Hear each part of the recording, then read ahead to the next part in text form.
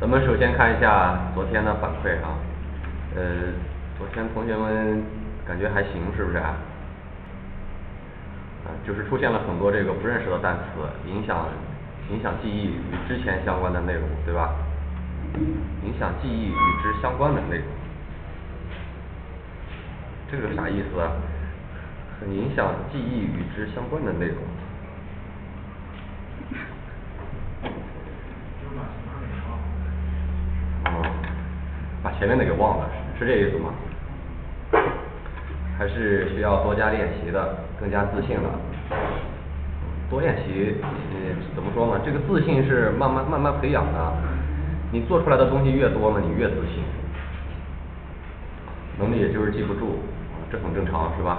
还行吧加油吧，记不住就多总结哈，记不住就是多做，做的少所以记不住。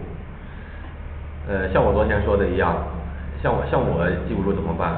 只能多翻多查对吧？查多了就记住了